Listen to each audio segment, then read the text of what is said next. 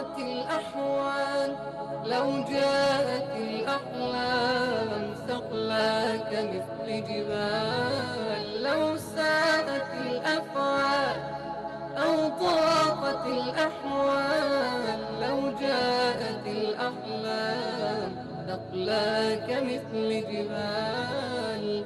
ها هو الشراع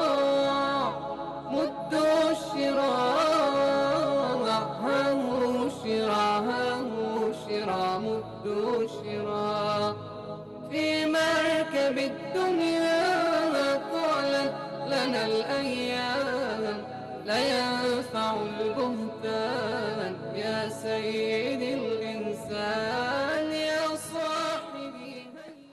بسم الله الرحمن الرحيم. نحمدك ربنا حمدا كما ينبغي لجلال وجهك وعظيم سلطانك. ونصلي ونسلم على من أرسلته رحمة للعالمين سيدنا ونبينا محمد صلى الله عليه وسلم وعلى آله وصحبه الطيبين الطاهرين. وسلم تسليما كثيرا. مشاهدينا الأكارم في كل مكان السلام عليكم ورحمة الله تعالى وبركاته السابع عشر أكتوبر 1961 تاريخ يخلد أبشع الجرائم الفرنسية ضد الإنسانية التي ارتكبت في حق الجزائريين الذين خرجوا في مظاهرات سلمية بباريس رفضا واحتجاجا على مرسوم رفض التجوال الذي فرض على الجزائريين دون غيرهم. وهذا المرسوم وهذا القرار الذي أقره محافظ شرطة باريس موريس بابون وهذه المظاهرات كذلك التي كانت سلمية حيث شارك فيها حتى النساء والأطفال دلالة على سلميتها. لكن فرنسا قابلتها بأبشع أساليب القمع والقتل وكذلك التعذيب حيث زج بالكثير منهم في السجون ليمارس عليهم شتى أنواع التعذيب. أيضا ألقي بالكثير منهم في نهر السين. واليوم مشاهدينا الأفاضل وفاء لهم وفاء لشهدائنا الأبرار وتمجيدا للأمجاد وصونا للذاكرة الوطنية وتذكيرا كذلك على حجم آلام وجروح الذاكرة. أكيد الجزائر تحيي الذكرى الثالثة والستين لمظاهرات السابع عشر أكتوبر 1961 وشاء الله سبحانه وتعالى أن تعود هذه الذكرى ونحن نستذكر هذه المحطة التاريخية أمام ما يحدث في غزة وفلسطين أمام الجرائم التي يستمر ويواصل الكيان الصهيوني في ارتكابها ضد إخواننا في غزة الصامدة في غزة المجاهدة وفي فلسطين الجريحة. فكما أرادوا طمس الجزائر يفعلون كذلك بفلسطين لكن كما استقلت الجزائر ستتحرر بإذن الله فلسطين فالبقاء أكيد لأهل الحق وأيضا لأهل الأرض حتى وإن حقق أهل الباطل بعض الانتصارات هنا وهناك لكنها انتصارات آنية وليست أبدا انتصارات حقيقية ودائمة. إذا مشاهدينا الأفاضل في حلقة اليوم من برنامج الشراح سنحدثكم عن مظاهرات السابع عشر أكتوبر 1900 وواحد وستين ودورها في دعم الثورة التحريرية الجزائرية والمباركة. وباسمكم جميعا أرحب بأستاذ الكريم عيسى بوخدوني. أسعد الله مساءك. أهلا وسهلا بك. أسعد الله مساءك أستاذة ومساءك. وكذلك المجد والخلود لشهدائنا الأبرار. أهلا وسهلا بك. كذلك مشاهدينا الأفاضل باسمكم جميعا أرحب بالدكتور عبد الرحمن تونسي أستاذ محاضر بجامعة خميس مليانة تخصص تاريخ الجزائر المعاصر. أهلا وسهلا بك. شكرا لكم على الاستضافة. أهلا وسهلا بك. في استوديو قناة القرآن الكريم أبدأ بك أستاذ الكريم عيسى بغدوني وكما يقول علماؤنا التاريخ هو الإسمنت الروحي ولا يقل في ذلك عن الدين. فالتاريخ يضم الأمة بآلامها وب آمالها أيضا وبكل مكوناتها وعناصرها. أليس كذلك؟ نعم أستاذة كذلك. وكذلك. لا شك أستاذة أن من عرف تاريخه وعرف مستقبله. لذلك الله تبارك وتعالى قص علينا في القرآن الأمم السابقة لنأخذ منها الدروس والعبر. قال الله تعالى وذكرهم بأيام الله. وقال الله تعالى فذكر فإن الذكرى تنفع المؤمنين. والتاريخ كما يقول لسان الدين الخطيب رحمه الله تعالى وبعد فالتاريخ والأخبار فيه لنفس العاقل اعتبار وفيه للمستبصر استبصار. كيف أتى القوم؟ كيف صاروا؟ يجري على الحاضر حكم الغائب فيثبت الحق بسهم صائب. قال وينظر الدنيا بعين العقل ويترك الجهل لأهل الجهل. فالتاريخ كما يقول كذلك العلامة المسعودي التاريخ هو علم يستمتع به العالم والجاهل ويستعذب موقعه الأحمق والعاقل فكل غريبة فيه تعرف كل أحداث وكذلك كل أعجوبة فيه تعرف وتبين حال الأمة في زمانها وكذلك في مستقبلها وفيها من الآداب والسياسة التاريخ فيه الآداب والسياسة وكذلك فيه جمع بين الأول والآخر وكذلك بين الموجود والغابر. فكتب التاريخ التي دونت الأحداث التي وقعت للأمة الإسلامية عبر التاريخ. وتاريخنا وثورتنا لا تنفك عن تاريخ الدولة الإسلامية في زمن النبي صلى الله عليه وسلم فهي ابتداء للانتصارات التي حدثت في زمن النبي صلى الله عليه وسلم فغزوة بدر وعين جالوت والزلاقة وبلاط الشهداء وهذه المعارك التي قام بها المسلمون هي نفسها التي قام بها الجزائريون في الثورة الجزائرية نعم. لأن كان روحها الإسلام ودافعها كذلك هو الإسلام فالتاريخ هو ما تبنى عليه الحضارات لأنه إذا عرف الإنسان تاريخه وعرف مستقبله وعرف كذلك عدوه واستعد له فأهمية التاريخ أهمية بالغة. ولذلك الله تعالى أكثر ثلث القرآن فيه قصص قصص الدول الغابرة لما طغوا وتجبروا كيف أخذهم الله عز وجل. وكذلك ذكر الله تعالى السنن الكونية التي لا تحابي أحدا. الذي كل دولة تقوم بمقومات النصر إلا ورزقها الله النصر وكل من تخلف عن النصر بقي على عادته وحاله. فالتاريخ فيه مقومات المستقبل وكذلك فيه استشراف للمستقبل. نعم. فذلك له أهمية بالغة في ديننا. نعم. شكرا جزيلا لك. أنتقل إليك أستاذي الكريم الدكتور الدكتور عبد الرحمن تونسي أستاذ محاضر بجامعة خميس مليانة. أستاذي الكريم السابع عشر أكتوبر 1961 عبر في هذا اليوم الذي كان يوم الثلاثاء هكذا. عبر الجزائريون بباريس وأمام العالم بطريقة سلمية عن احتجاجهم للقرار العنصري هكذا نسميه. نعم. والذي يمنع تجول وخروج الجزائريين من الساعة الثامنة مساء نعم. إلى الثامنة والنصف مساء إلى الساعة الخامسة والنصف صباحا. نتحدث بداية أستاذ الكريم عن هذا القرار الذي أصدره محافظ شرطة باريس موريس بابون. نعم شكرا. بسم الله الرحمن الرحيم والصلاة والسلام على أشرف المرسلين.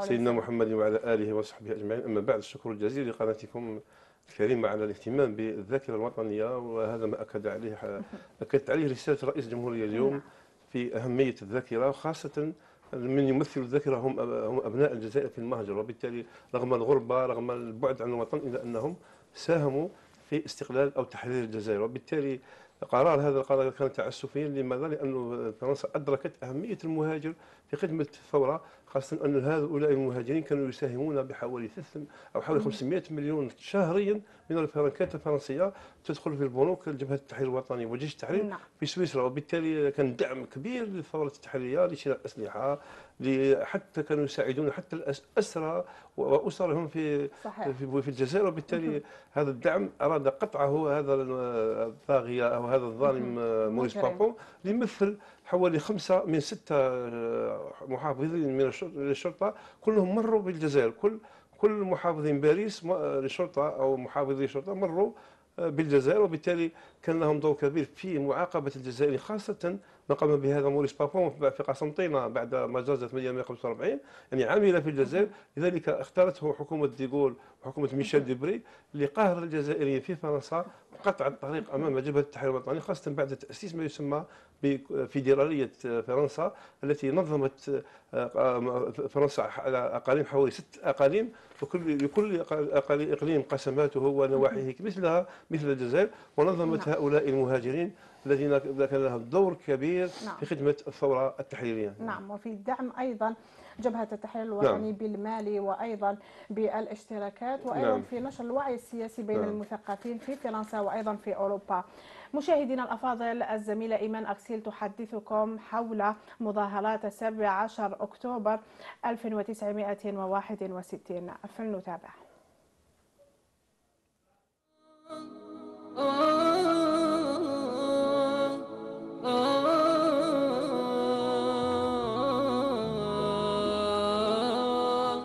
شعارات الديمقراطية والتحرر وحقوق الإنسان.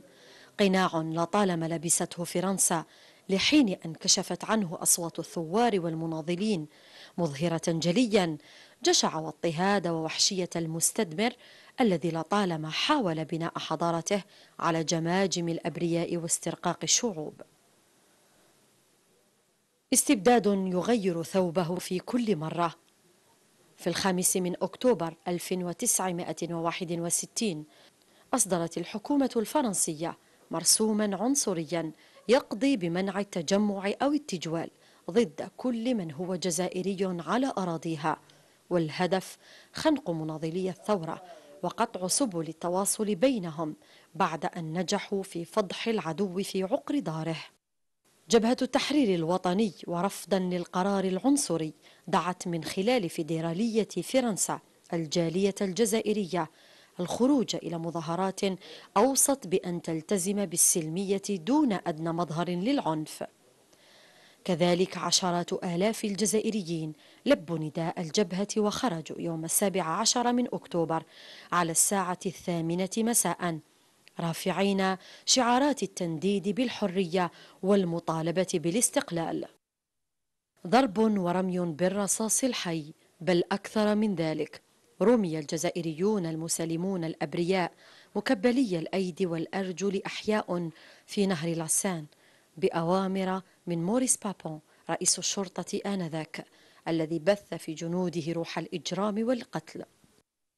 أكثر من 400 شهيد و2300 جريح فضلا عن المفقودين والمعذبين في ضواحي غابات باريس. كما اعتقل 15 ألف جزائري. من كل الأعمار تعرضوا لكل أشكال التعذيب والمهانة. ليلة لم تكن أبدا مضطربة وحسب كما وصفتها الصحافة الفرنسية المتواطئة آنذاك بل كان موعدا مع الدماء. يكشف الوجه البشع لفرنسا.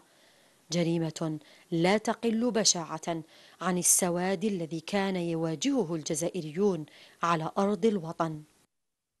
أحدث السابع عشر من أكتوبر محطة معبرة عن أسمى معاني اللحمة والاتحاد بين صفوف الشعب الجزائري في الداخل والخارج. ضريبة نيل الحرية دفعها الجزائريون باهظا أشهر قليلة فقط قبيل الاستقلال.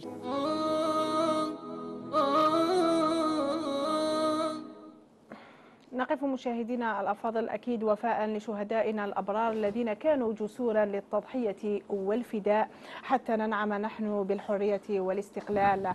وأكيد الأوطان التي لها تاريخ ولها كذلك شهداء هي أوطان صامدة ولن تسقط أبدا لأنها محمية بالله ومباركة بالقرآن الكريم. أعود إليك سيدي الكريم أستاذي عيسى بوخدوني. أكيد على قدر قوة المستقبل المستعمر الفرنسي الذي سعى إلى محو الشخصية الجزائرية وإلى إنهاء الوجود التاريخي لوطن اسمه الجزائر بقدر قوة التحدي الوطني الشعبي الجزائري الذي قابل هذا القمع بإرادة جزائرية شعبية مشحونة بقيم روحية وكذلك إسلامية. نعم أستاذة كما قلت صحيح.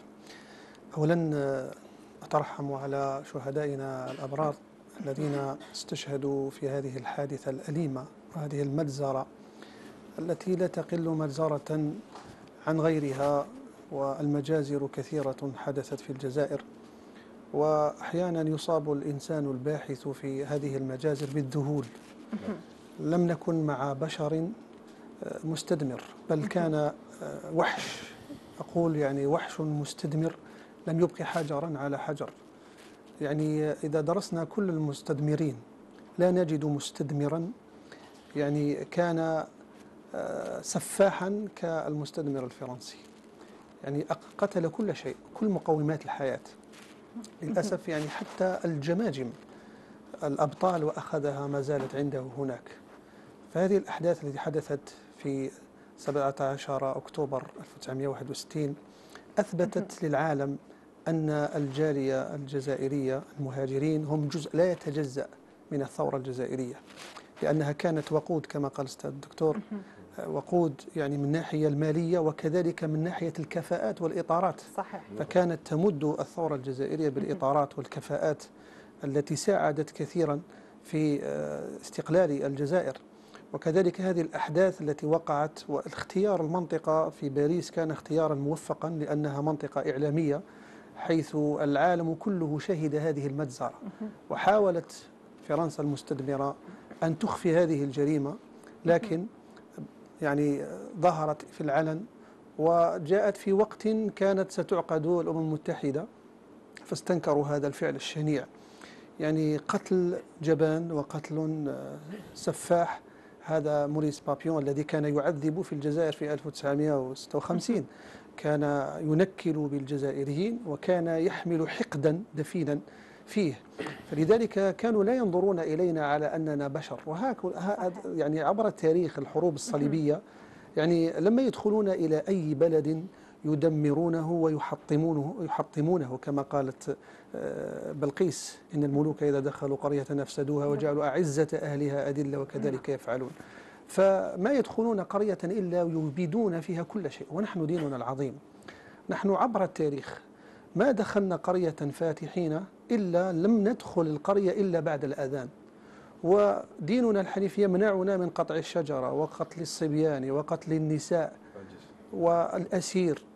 هذا ديننا الحنيف لكن هم لما يدخلون إلى الدول المستعمرة إلا ونهبوا كل ثرواتها حتى العلوم الكتب ويسرقون ويسرقونها حتى الجماجم وأخذون يأخذونها. لهذا المجازر التي حدثت مجازر كبيرة جدا ما يحدث صحيح. الآن في إخواننا في فلسطين. يعني إحنا المجزر نعم نفس السيناريو الكفر ملة واحدة كما قال النبي صلى الله عليه وسلم.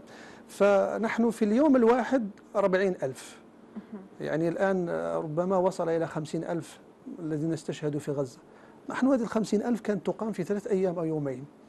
والتاريخ بقي شاهدا على هذه المجازر. صحيح. وأن هذا المستدمر لم يكن دافعه فقط المال بل كان يقاتل عن صليبية مقيتة. فلهذا كان يريد أن يمسح الإسلام من هذه الأرض. صحيح. ولكن ثلة قليلة كما قال الله عز وجل كم من فئة قليلة غلبت فئة كثيرة.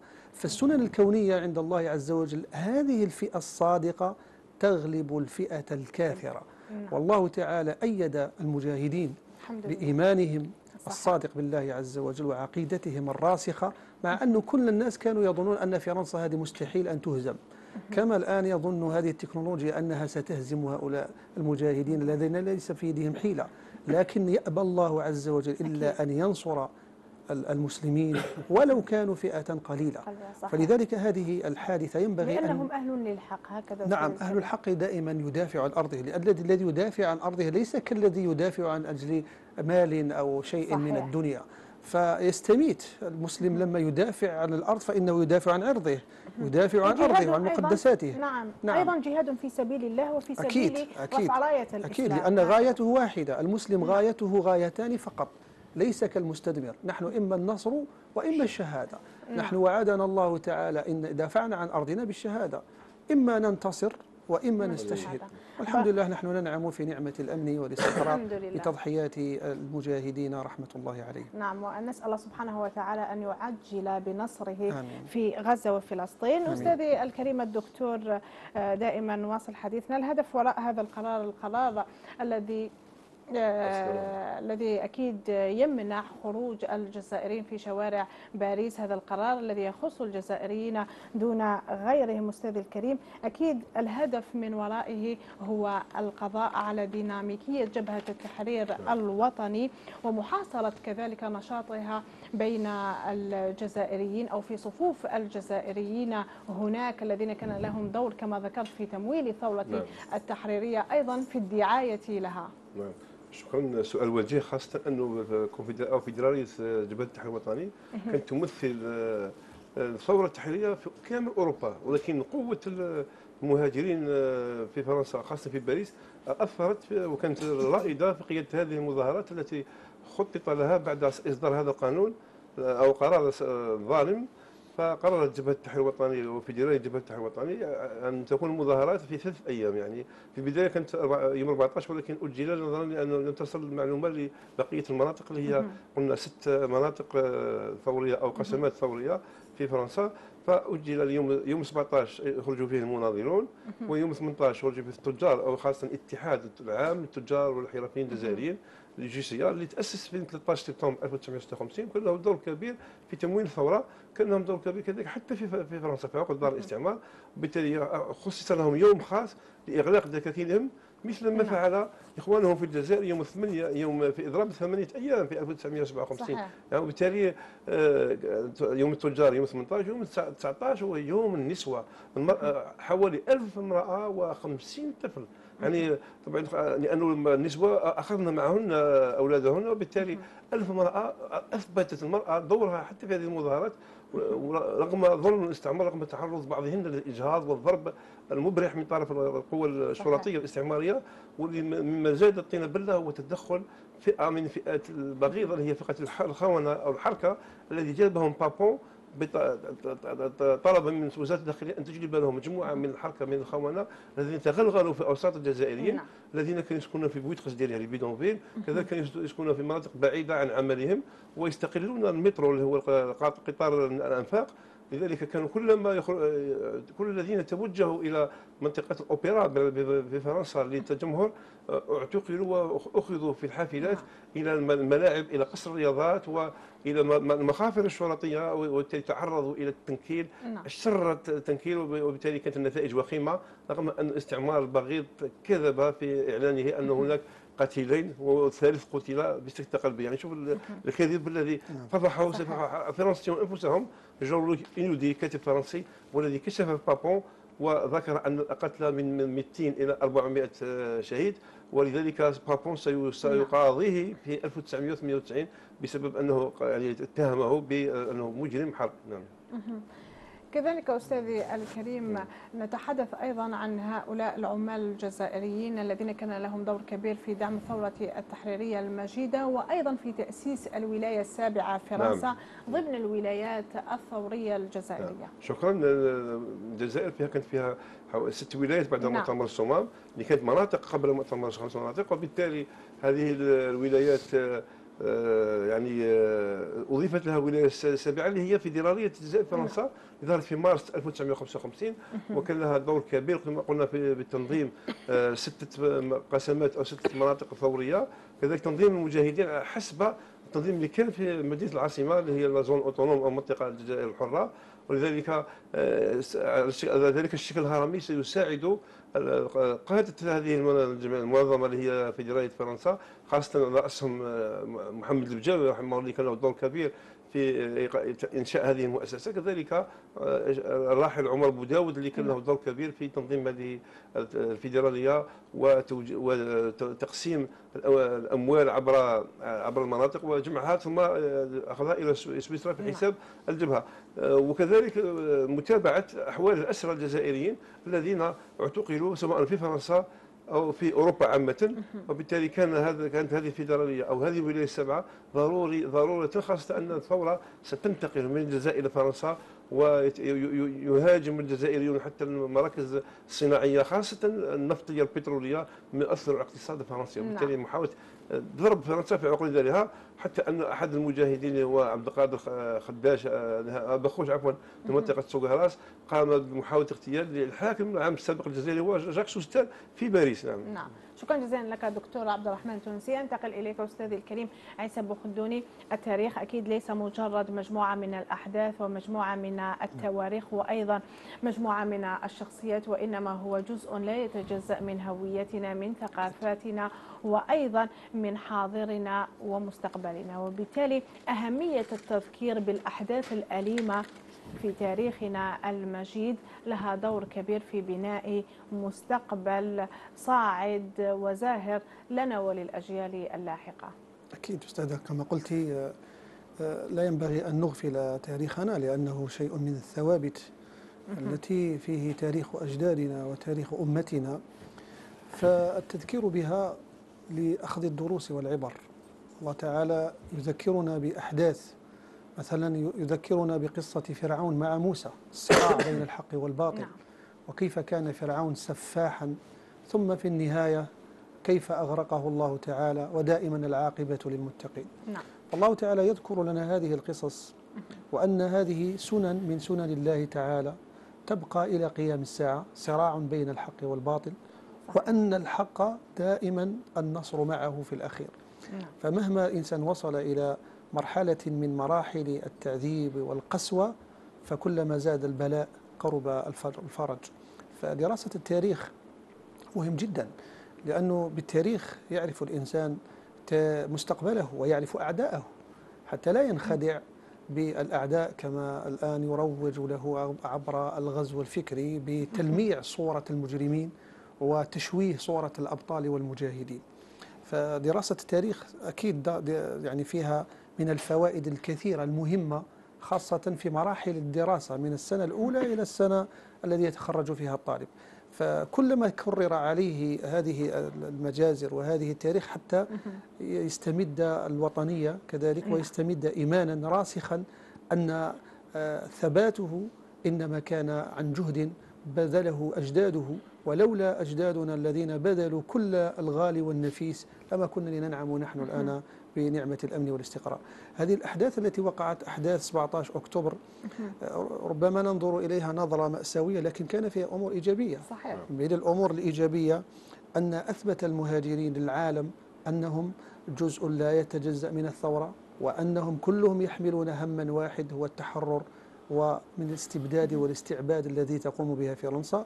وكذلك فيه من الفوائد أن ربما نقول ال 11 11 ديسمبر 1960 التي أجهضت مناورات ديغول فهذه الأحداث كذلك أجهضت فكرة أن الجزائر تابعة لفرنسا وأثبتت أن الجزائر جزائري لا يحيد نعم. ولا يبيد ولا يترك أصله شعب الجزائر مسلم وإلى العروبة نعم. ينتسب حتى أنها أستاذ الكريم أثبتت أن كل جزائري على أرض فرنسا هو مناظر نعم. في جبهة نعم. التحرير نعم. الوطني نعم. والجهاد نوعان جهاد بالمال وجهاد بالنفس فإخوانهم كانوا يجاهدون بالنفس في أرض الجزائر الحبيبة وإخوانهم كانوا يمدونهم صحيح. بالمال ويعينونهم على اقتناء الأسلحة حتى تبقى هذه الثورة صامدة. نعم مهم جدا. شكرا جزيلا أستاذي الكريم. أيضا أعود إليك الدكتور عبد الرحمن تونسي. معركة باريس وعندما نتحدث أستاذ نعم، الكريم عن نعم. الأمور الإيجابية كما ذكر الأستاذ عيسى بوخدوني نتحدث أنها كانت انتصارا إعلاميا. لا نظير له حققته نعم. الحكومة الجزائرية المؤقتة واضطرت الحكومة الفرنسية اضطرت على العودة إلى مدينة إفيانا السويسرية لمواصلة نعم. المفاوضات. هذه المفاوضات التي انتهت بالاعتراف الرسمي باستقلال الجزائر. نعم شكرا. سؤال وجيه خاصة أن الفترة هذه كان الضغط على الوفد المفاوض نعم. خاصة من خاصة المنطقة الصحراوية. وبالتالي فرنسا كانت تريد تفصل الشمال عن الجنوب وأخذ الصحراء الجزائرية بكل وسيلة ورفض ديغول والوفد المفاوض الفرنسي. كل مطالب الجزائريين وبالتالي كانت هذه المظاهرات رد على الفرنسيين كذلك رد على الحركه الإرهابية الرواس هذه المحركه اللي كانت تقتل الجزائريين النخبة خاصة تقتل النخبة. وبالتالي آه، استطاع الجزائري الذي خرج يوم 17 أكتوبر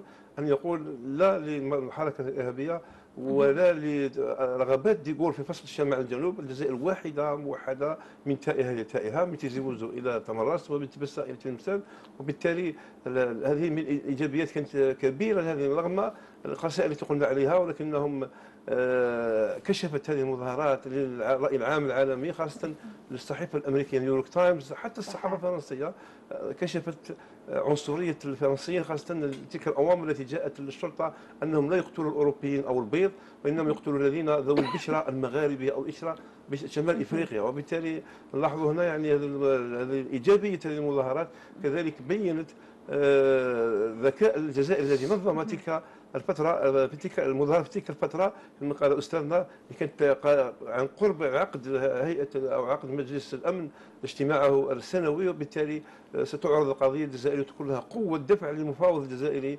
راسه الراحل محمد يزيد في الدفاع عن القضية الجزائرية وحق الشعب الجزائري في تقرير مصيره. نعم ممتاز كذلك دكتور عندما نتحدث عن أهم نتائج مظاهرات 17 أكتوبر 1961 نعم.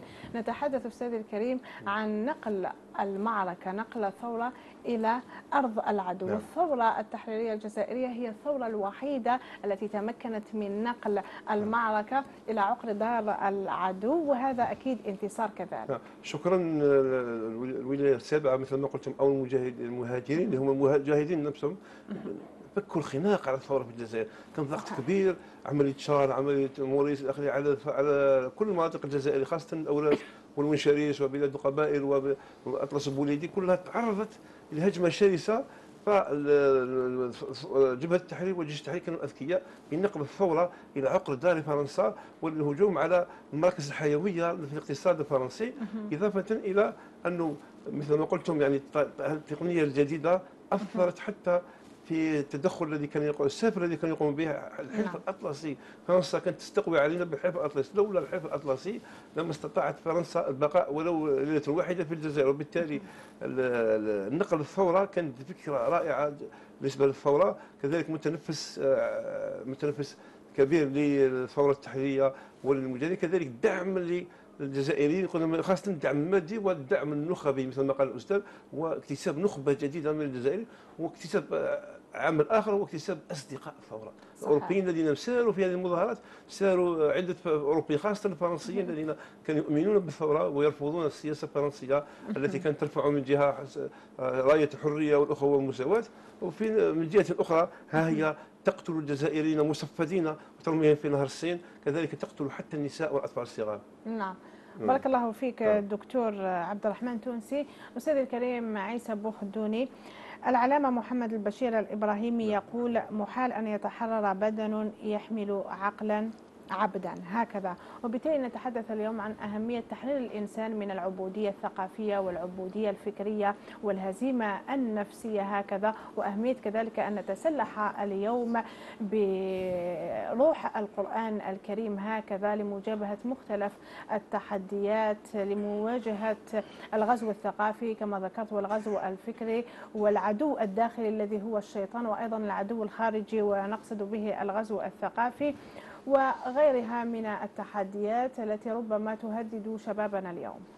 نعم أستاذة لا شك أن الأخطر في هذا العصر هو الغزو الفكري لأن الغزو العسكري لم يأتي بنتائج بعد الحروب الصليبية لأن الغزو العسكري فيه الخسائر كلا الطرفين. صحيح. فلذلك فكر الصليبيون في الغزو الفكري والغزو الفكري هو يستهدف العقول أولا. وأخطر منه الغزو الإعلامي. ذكر أستاذ أنه ما ظهرت قضية 17 آه، أكتوبر إلا بعد 32 سنة. نعم. أخفاها المستدمر الفرنسي. وهذا دأب الصهاينة كذلك. يخفون قتلاهم ويخفون هزائمهم نعم. ولا يريدون إظهار الحقيقة. ويشوهون التاريخ والأحداث ويلعبون في المسميات والألقاب. فيظهرون السفاح بطل ويظهرون المقاوم الذي يدافع عن أرضه وعن عرضه إرهابيا أو آه، مخربا كما يفعله الصهاينة. هو نفس الذي فعله المستدمر الفرنسي. صحيح. كان يشوه صورة الأبطال وصورة المجاهدين ويلمع صورة قادته السفاحين. فهذا موريس بابيون هذا لم يحاكم أصلا. يعني وتجدهم يعني يلعبون في خاصة في مسألة الإعلام. لأنهم يتحكمون في شبكات التواصل الاجتماعي والإعلام فيسوقون ما يريدون لغزو أفكار الشباب. فينظرون مثلا من الأمور التي تحدث عند الشباب عندنا. لما تقول له تاريخ الجزائر يقول لك تاريخ الجزائر ما مش فيه مزور كذا. فهذا من الغزو الفكري. يقصد الإنسان أنه يشك في تاريخه. صحيح. وهذا الغزو من أين يأتي؟ يأتي من وراء البحار. فيشككون في الأحداث ويشككون في الأرقام. وحتى المجازر ينفونها. الآن كل الأدلة تثبت على أنهم قاموا بمجازر. خير شاهد لما الإنسان يذهب إلى متحفهم ماذا يجد؟ جماجم. جماجم لمن؟ لأبطال مجاهدين. طيب أنت قتلت الإنسان لماذا تأخذ رأسه؟ هذه من الجرائم التي لم تعرف عبر التاريخ. فهم يلعبون حتى في تاريخ تحريف الآيات تحريف الأحاديث حتى الثوابت يحرفونها ويفتحون الاجتهاد فيها على مصراعيها حتى الشاب يصاب بالذهول. ولما يصاب الشاب بالذهول والشكوك معناتها أصيب بالغزو الفكري. والغزو الفكري أخطر بكثير لكن نتائجه وخيمة لكن ليست نتائجه كنتائج الغزو العسكري ربما نتائجه سريعة. لكن نتائج الغزو الفكري بطيئة لكن تخرب العقول تخرب أذهان الأطفال والشباب. فيصبح الشاب حيران. لا يعرف تاريخه ولا يعرف مستقبله وينكر كل شيء. يعني حتى الخير اللي عايشه ما هوش شاف ما هوش يشوف فيه فيرى كل شيء أسود. وهذا هو الغزو الفكري الخطير الذي الآن أصبح يمارس على الشعوب. صح. حتى صرنا يعني كل العالم يرى أطفالا وأشلاء في غزة والكل صامت لأنه صحيح. يقول بعض حتى من آه، يعني أصيب بغزو الفكري يقول لك علاش دنا لهم وكان الأصل يتقاسموا بيناتهم. هذا من الغزو الفكري. من صاحب الأرض؟ ولهذا كانوا حتى في زمن الثورة الجزائرية كان من يقول أنتم تفكرون في إخراج فرنسا. هذا من المستحيل. عندها قوة والحلف الأطلسي وكذا والعتاد لكن أخرجها نعم. المجاهدون لله الحمد. صحيح. وحتى فرنسا أستاذ الكريم في سنوات الاحتلال الأولى آه اعتبرت يعني حجة تواجدها في الجزائر أنها من أجل تمدين هذا نعم. الشعب وهذا الوطن هذا الشعب الذي نعم. ليس له حضارة وليس له تاريخ وليس له حكومة أو دولة ولم نعم. يأخذ نصيبه من الرقي الحضاري والإنساني وهذا ما قام به المؤرخون الفرنسيون الذين حاولوا أيضا من خلال كتاباتهم ومؤلفاتهم حاولوا أن ينسلخ أو قاموا أن ينسلخ هكذا الجزائري عن مقوماته أو يذوب في مقومات أخرى فرنسية أو غربية أو حتى يعني يبقى دون انتماء. نعم أستاذة كما ننظر مثالا على ذلك مثلا آه، المستدمر الفرنسي لما دخل الجزائر لم تكن عندنا أمية. فمن الذي جهل هذا الشعب؟ أليس المستدمر الفرنسي الذي منع حتى الدراسة منع التعليم منع اللغة العربية؟ مع أننا نحن في تاريخ أمجاد أمتنا كانت هناك مدارس قرآنية صحيح. لليهود والنصارى. يعلمونهم اللغة العربية بالمجان. يحافظون عليهم على حتى لم نهدم الكنائس نحن لما فتحنا بلاد الكفار. على شاهد على ذلك لما فتح عمر بن الخطاب بيت المقدس لم يهدم الكنائس. صحيح. ولم يعني التراث حافظ عليه كما هو. لكن هم لما يدخلون يسرقون كل شيء ويدمرون حتى الآثار التي ترمز إلى أمجاد هذه الأمة. فيدمرون آثارهم ويسرقون مخطوطاتهم وكتبهم ويزعمون أنها حضارة. هم يلعبون دائما على مسمى الألقاب والألفاظ. فيسمون الغزو آه، حضارة ورقي وأنهم جايبين الحضارة على دبابة. ثم ماذا؟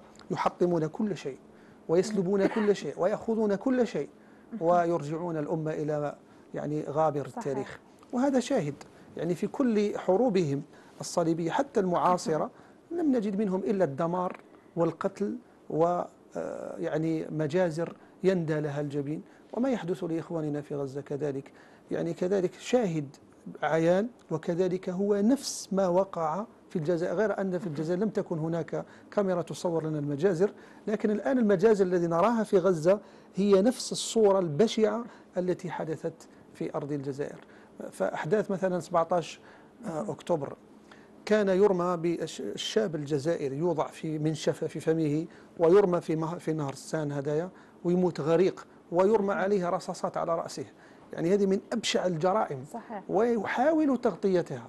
كما قال الأستاذ حاول يحاكم من نشر الحقيقة. نعم. وهكذا يفعلون وما زالوا يفعلون. وهذا يعني في بلاد يعني في باريس. نعم. يعني أستاذ الكريم أكيد كانت الجرائم أضعافا مضاعفة في كثيرة. الجزائر نعم، هكذا نعم كثيرة. أمام غياب المحاسبة والمراقبة وغير ذلك. نعم أستاذ أعطيك سبيل المثال. كذلك هم حتى المساجد حولوهم إلى إسطبل ما حدث في كتشاوة 4000 قتيل. شهيد في في دقيقة. يعني حتى المعابد لم تسلم منهم يعني لم يتركوا شيئا يعني حتى قتلوا الحيوان وقتلوا الإنسان وقتلوا الطبيعة وما حدث في كذلك تجاربهم النووية وكم من قتلى يعني بتجاربهم هذه النووية من الشعب الجزائري. مجازر يند هناك قرى أبيدت صحيح. قبيلة زعاتشا وكذا. أبيدت عن بكرة أبيها يعني. يعني هذا دليل شاهد على أنهم ملة واحدة. يعني نعم. مهما حاولوا يلمعون صورتهم أمامنا بألقاب وأوسمة في الحقيقة هم ما زالوا يحملون هذا الفكر الدموي الذي يدمر حرية الشعوب. نعم أستاذ الكريم كذلك بعد هذه التضحيات الجسام وبعد قوافل من الشهداء استقلت الجزائر نعم. وكذلك نعم. فلسطين بحول الله يأتي أكيد. بعد هذه التضحيات نعم. تأتي بحول الله يأتي أكيد. الانتصار فهذه سنة الله في الكون وإخواننا أستاذ الكريم في غزة وفلسطين يؤكدون لنا أن الذي يصنع الفارق هو الإعداد الإيماني فمهما نعم. اشتدت الضربات نعم. والصدمات والهجمات واشتد القصف لكن أكيد وسط كل هذا هناك أمل بأن نصر الله سبحانه وتعالى قادم وقريب جدا بإذنه تعالى وبالتالي لا خوف على غزة وفلسطين ما دامت فيها نعم. المرأة خلافا عن المجتمعات العربية والإسلامية الأخرى تقوم بإعداد وصناعة أجيال آه، بروح إسلامية وبروح إيمانية نعم. وبروح كذلك قرآنية. ولا خوف كذلك على المقاومة نعم. الفلسطينية ما دام فيها رجال حافظين لكتاب الله وحاملين كذلك نعم. للقرآن الكريم. وهكذا كذلك جاء النصر وجاء الاستقلال في نعم. الجزائر فالثورة التحريرية والمقاومات الشعبية صنعها رجال وطلبة الزوايا وطلبة المدارس القرآنية. نعم صحيح أستاذة كما قلت لأن الغزو الفكري يستهدف العقيدة والسلوك. نعم. ولهذا يعني أصعب شيء الذي لم يستطيعوا أن ينتصروا عليه هي عقيدة الإنسان ومبادئه. فمهما أنفقوا من أموال وحاولوا دائما يرجع الإنسان إلى ثوابته ومبادئه. ولذلك يعني وجدوا أن أعظم شيء يغذي هذه المقاومة هو القرآن الكريم. فلذلك لما دخلت فرنسا إلى الجزائر بدأت بهدم الزوايا وهدم المساجد. لأنها تعرف هذه المساجد والزوايا يخرج منها الأبطال. وكذلك إخواننا في غزة كذلك ثورتنا ملهمة لهم. يعني تجعلهم لهم بلسما وتجعل لهم كذلك آه كما يقال يعني آه راحة نفسية أنه سيأتي النصر ولو بعد حين. لأنه مهما نحن الذين استشهدوا في بلادنا الكثير والكثير يعني في كما قلت يعني سابقا مجزرة واحدة يروح فيها أربعين ألف واحد في يوم واحد.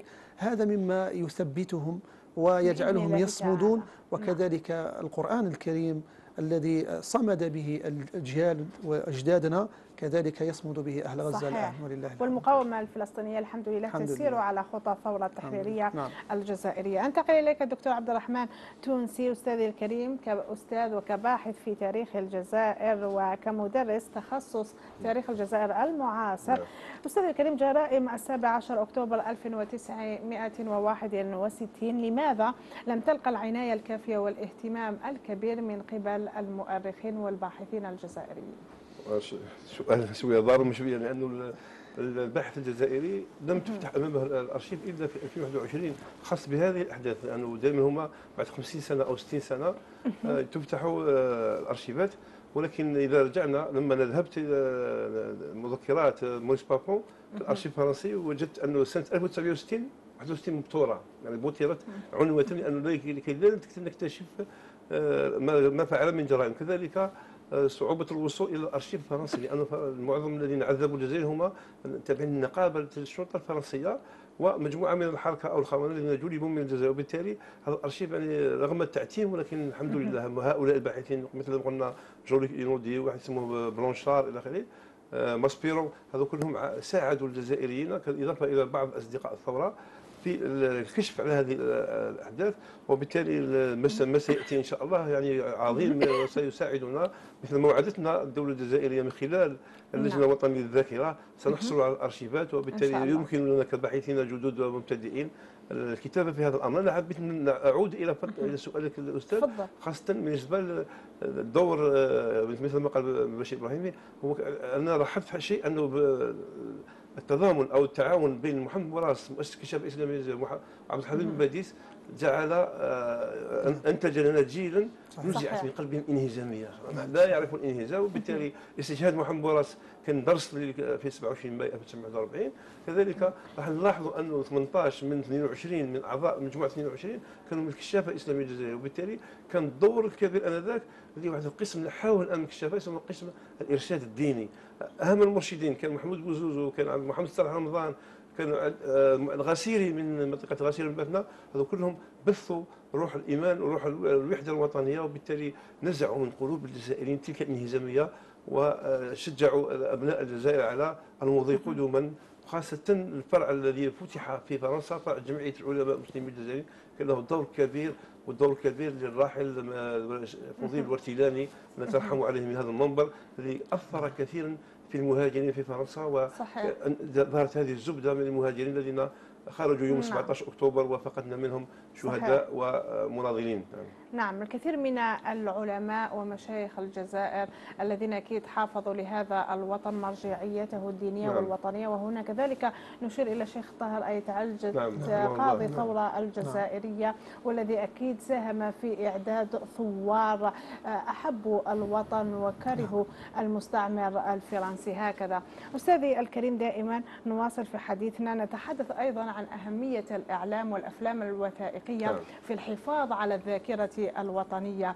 أهمية إخراج التاريخ من سجنه نعم. إن صح القول من نعم. أروقة المكتبات وجعله نعم. مادة دسمة لإنتاج الأفلام والمسلسلات حتى نكون كالدول التي قدمت تاريخها سينمائيا شكرا والدور الأول لكم كقناة يعني نشيطه الله يبارك يعني هناك وسائل كثيرة يمكن أن توصل المعلومة للطالب بطريقة نعم. آه سلسة وبدون الطرق التقليديه يعني. والإملاء. المتلقي خاصة التلميذ يكره الالقاء فترة معينة فوق خمس دقائق سوف يصد يعني ولا لا يستمع للاستاذ نعم. وبالتالي الطريقة التي قلت عنها اللي هي خاصة الأفلام القصيرة عن طريق الرسوم المتحركة اللي تفضلتها بعض الدول الآن راهي تمنع علينا حرب استبرانية يشكوا الجزائريين في تاريخهم. نحن نرد عليهم بأفلام ورسوم متحركة رسوم كرتونية إسلامية وجزائرية وعربية. وبالتالي آه، تبين لهذا الفتى بطريقه آه، الجد والهزل طبعا. هي الطريقة الجاحظه اللي يسموها طريقة الجد والهزل. هي أحد طرق التدريس الهامة أن تحبب لهذا الفتى بطريقة غير مباشرة تاريخ وطنه خاصة بتعريفه آه، أو بإعلام هذا بفرسان هذا الوطن من صدر الإسلام إلى الثورة التحريرية من صلاح الدين إلى أمير عبد القادر إلى علي عمار ربما طول صورة أخرى أراد الاستعمار الفرنسي أعطاها لنا والإيطاليين في فيلم معركه الجزائر علي عمار كان يدرس في المدرسة الفرنسية. الفيلم الفيلم في مدرسة الاهالي في مليانه الان تسمى مدرسة العربية تبسي الفيلم اعطاه لنا بصورة أخرى أنه لا يدرس أنه كان شعوره وهي العكس كان علي عمار كان يدرس في مدرسة الاهالي عند معلم يسموه الششالي الديواني. من منطقه عين دفله وبالتالي كذلك علي عمار كان اصدقائه من مؤسسين الكشافه الإسلامية بمليانة. إذا هنا يعني أستاذ الكريم ندعو إلى أهمية كذلك نعم. التنسيق بين الباحثين الأكاديميين والمؤرخين وبين كذلك المخرجين السينمائيين. نعم وبالتالي هنا شكرا بارك الله فيك.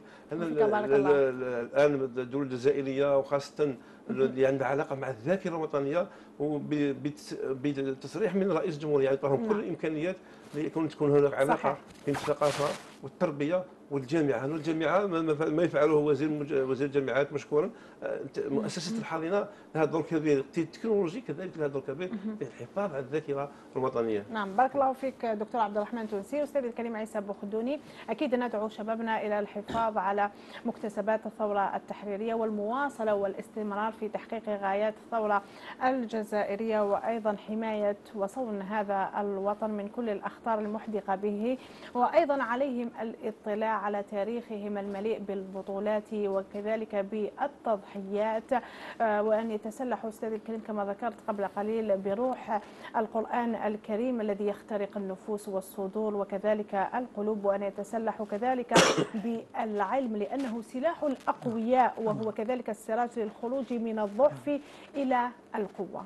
نعم أستاذة كما قلت الشباب خاصة هم وقود هذه الأمة فالاعتناء بالذاكرة تبدأ من المراحل الأولى من التحضيري نبدأ نغرس في أبنائنا حب الوطن ومعرفة العلماء. جيد. جميل جدا أن تسمى الأقسام بأسماء أها. العلماء. صحيح. ليس قاعة واحد قاعة اثنين. فكل قاعة تسمى على مجاهد أو عالم حتى الطالب من صغره يرى الأسماء. فيبحث عن الأسماء ليعرف أبطال أمته. كذلك كما قال الأستاذ يعني نحتاج إحنا إلى أولا آه، تجديد الخطاب في التاريخ نعم. ويكون إسقاط على الواقع. فالشاب يحب يسمع التاريخ يكون إسقاطه على الواقع. ونحن. لما نتكلم عن الثورة أسقطناها على غزة.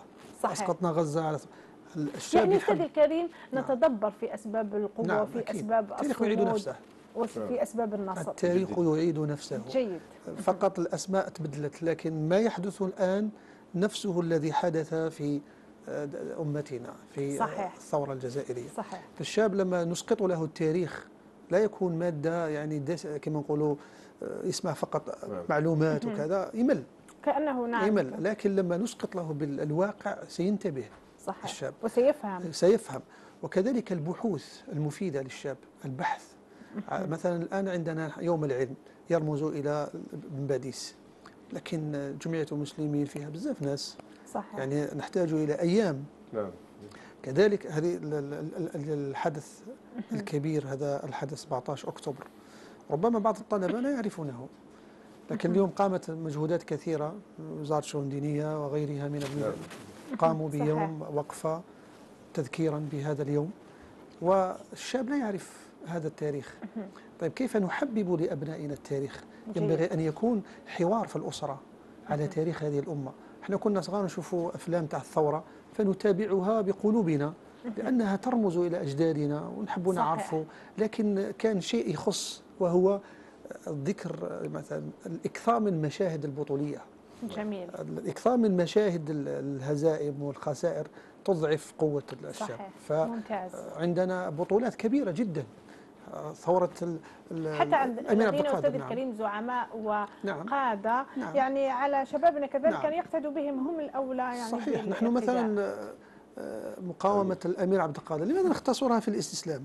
20 نعم. سنة حرب هذيك من راحت؟ صحيح 20 سنة وهو وأكثر. شاب أستاذ نعم الكريم هذه مراحل هذه كلها لازم تذكر صحيح البطولات هذه مما تغرس في الطفل النخوة والشجاعة إحنا علاش نفتخروا بالبلد تاعنا لأنه فيها أبطال فيها نعم. رجال لهذا لما أي شاب جزائري يسمع النشيد الجزائري يحس بالاعتزاز لماذا؟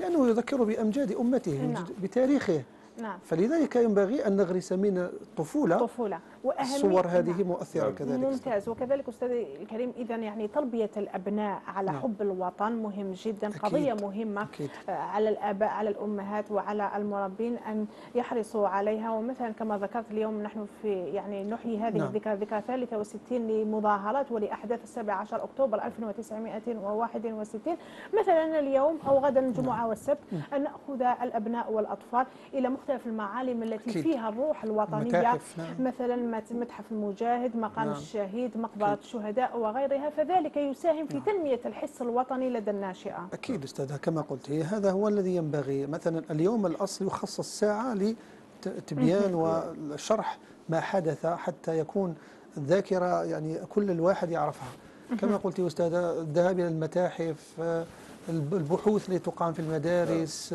التشجيع على البحوث. التأليف خاصة التأليف. عندنا مشكلة في التأليف حنايا خاصة الأحداث. فالتأليف وخاصة آه، كما قلت يا أستاذة آه، من الصف أنا قلت من الصف الروضة يعني من الصف الأول يبدأ لازم يتعلم. لأنه حتى مشاهدة الصور مثلا لما يشوف صورة الأمير عبد القادر من نعم. صغره راح ترسخ في راسه. فيبحث عنه من هذه الصورة؟ لأنه إحنا عندنا إشكال نعرف الأسماء لكن لا نعرف الملامح نعم. تاع المجاهدين والثورة. فكما قلت يا أستاذة نعم. نعم. هذا شيء طيب جدا. شيء جميل نعم. يكون في المدارس. وقفة هكذا ليحيوا هذه ال- ال- المآثر وهذه الأحداث حتى يت- الطفل من صغره يتعلم. لأنه إحنا مثلا من كنا صغار آه، كل ما يأتي يوم العلم نبدأ نوجدوا آه، الأشعار البحوثات حول حول الإمام بن باديس. فكذلك كل الأحداث ينبغي أن تواكب في كل القطاعات. مهم جدا. شكرا جزيلا لك أستاذ الكريم. عيسى بوخدوني الدكتور عبد الرحمن تون تونسي. نستعيد من تاريخنا أكيد ما نحتاجه في حاضرنا لنبني به مستقبلنا. هكذا. فما هي المحطات المهمة التي تراها ضرورية أن تبقى في الذاكرة الشعبية وفي الذاكرة الجماعية؟ وكذلك ما هو السبيل أستاذ الكريم؟ أو كيف ترى مشروع بناء مواطن المستقبل بشخصية مشبعة بالقيم والثوابت الوطنية. شكرا سؤال وجيه. وقد نبهنا لذلك مالك بن نبي رحمه الله. عندما أشار إلى كيفية بناء هذا الإنسان الإنسان الحقيقي وليس الإنسان النصف وحذرنا من الإنسان النصف الذي ظهر بعد العصر الموحدي. هنا تذكرت بالنسبة لقول الأستاذي لماذا لا يكون الأمير عبد القادر مكان رسوم باتمان؟ لماذا؟ لماذا لا يقول كي يزيد شوف الأمير عبد القادر ولا يرى باتمان. يرى بن باديس يرى المقراني احدادا أو الحداد. ولا يرى تلك الرسوم البغيضة التي شوهت صورة الطفل جعلته يعاني من التوحد. في السبعينات قبل السبعينات لم نكن نعرف هذه الظاهرة. نعم. أصبحت ظاهرة غريبة علينا. وبالتالي بناء المست... بناء التاريخ يعتمد على نقاط معينة خاصة تلك إحنا بعض النقاط هي ساعة سوداء في التاريخ ولكنها آه، يجب أن يدرس الطالب أن فترة معينة فرنسا اعتبرتنا أهالي اعتبرتنا دون الانسان سنت قانون يسمى قانون الأهالي 1897 آه، اللي جمع في 27 مخالفة الجزائري ممنوع عليه أن يفتح مدرسة ويدرس اللغة العربية والتاريخ الإسلامي وممنوع عليه أن يفسر إيه الجهاد وممنوع عليه أن ينتقل من قرية إلى قرية الا برخصه هذا القانون اللي كان بغيض تخلصنا منه في 1947 لكن فرنسا بقيت تنظر إلى نظره دونيه وهذا ما رأيناه في 17 أكتوبر 1900 61 نعم. أستاذ الكريم دائما في نفس السياق ونحن نعيش ثورة إلكترونية رهيبة نعم. وبالتالي أهمية توظيف التاريخ إلكترونيا ورقميا. نعم. ونقل هذا التاريخ لمواقع الشباب مواقع التواصل الاجتماعي وبالطريقة التي يفهمها هذا الشاب. شكرا السؤال. الوجيه الحمد لله إحنا الآن ترسلنا القانونيه موجودة دعم النشاط السبراني بالنسبة للمؤسسات التعليمية خاصة التعليم العالي وحتى وزارة الداخلية تبطنت الأمر هذا الآن. فهناك حماية لشبابنا من العدوان السبراني من العدوان الالكتروني وبالتالي يجب أن تكون برامج إلكترونية موازية مع ما في الكتب. بالتالي يستطيع الطالب ان أن يذهب بلوحته الإلكترونية دون أن يحمل تلك المحفظه ومن خلال تلك اللوحة الإلكترونية سيطلع له اطلاع واسع حول عن تاريخه. طبعا يتعلم الطالب أو التلميذ الصغير عن آه، يعني في البدايه ببساطة ولكن تكون معلومات آه، قوية تعلمه خاصة التركيز على التاريخ الإسلامي. وترك آه، محطات من التاريخ الإسلامي وتركز على كذلك محطات هامة من التاريخ الجزائري. يعني من هو الامير عبد القادر من هو المديس من هم يعني بطرق مختصرة ولكن إلكترونية وتكون في الشاشة أيقونات خاصة بالتاريخ عندما يضغط التلميذ تخرج لنا تلك الصور بطريقة جميلة وسلسة نستطيع أن يكون لنا تلميذ واعي بما يعني خاصة ولا يقول ولا يقول مثل ما قال أستاذنا تاريخ مزور أو يفتخر بتاريخ الجزائر ويكون لنا يعني جيل صاعد له نعم.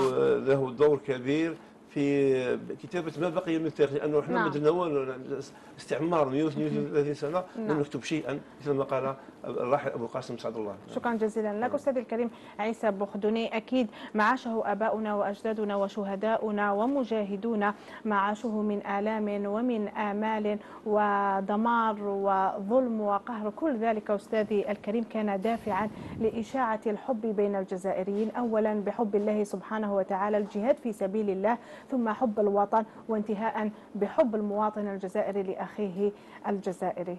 نعم كما قلت أستاذة بارك الله فيك. وفيك بارك الله. هذه السنة يعني الشيء الجميل أنه صادف المولد النبوي بأحداث تاريخية.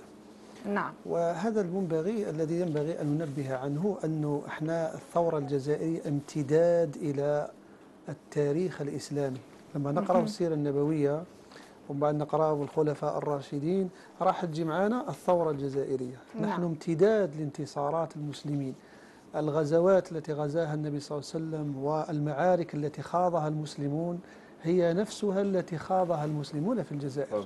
لا ينبغي أن نديروا نقطة ومن بعد ذلك نبدأ الثورة الجزائرية لا. هي الثورة الجزائرية متصلة بالثورات الإسلامية التي حدثت كمعركة الزلاقة وعين جالوت نعم. وبلاط الشهداء وهذه كلها معارك المسلمين.